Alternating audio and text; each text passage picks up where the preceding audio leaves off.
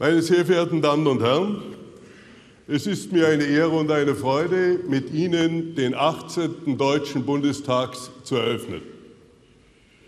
Ich begrüße alle, die, die schon viele Jahre unsere Mitstreiter gewesen sind und die, die neu dazugekommen sind und in eine faszinierende Arbeit starten.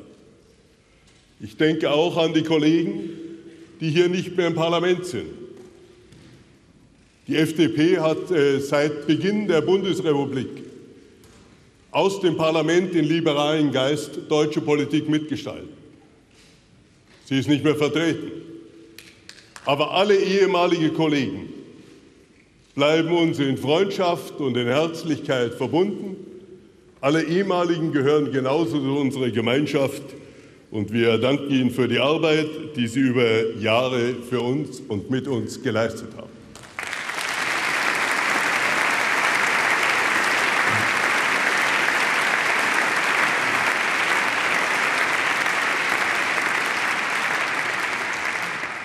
Unsere Arbeit beginnen wir heute in einer unübersichtlichen Zeit.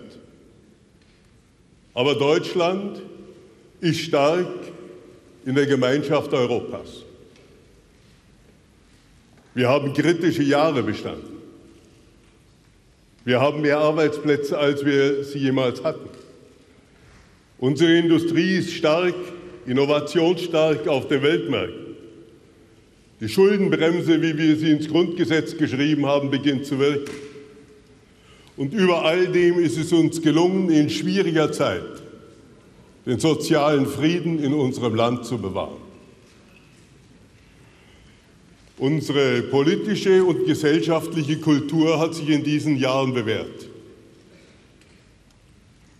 Wir haben eine Tarifpartnerschaft, die aus Konflikten gemeinsame Lösungen erarbeitet. Wir haben inzwischen eine Wissenschaft, die sich einlässt in die öffentliche Debatte zu Klima und Umwelt, zu den Finanzmärkten, zum Umgang mit menschlichem Erbgut. Wir haben eine Qualitätspresse, die jenseits von Twitter und 30 Sekunden Statements Orientierungswissen erarbeitet, mit dem man sich auseinandersetzen kann. Wir haben einen Rechtsstaat und eine tüchtige Verwaltung.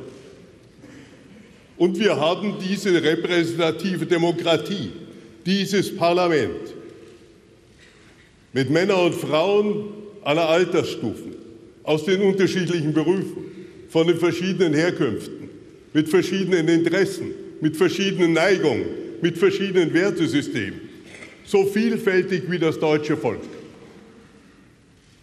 Und diesem Parlament ist anvertraut, für die nächsten Jahre unsere Zukunft zu bauen. In einer idealen Welt könnte man sich hier vorstellen, dass vielleicht noch einige mehr Naturwissenschaftler oder Betriebsräte oder Unternehmer dabei sind. Auch diese sollten wissen, dass die Zukunft ihrer eigenen Arbeit hiermit entschieden wird. Aber so sind wir jetzt gewählt, wie wir hier sind. Und so werden wir die Arbeit von uns aus angehen.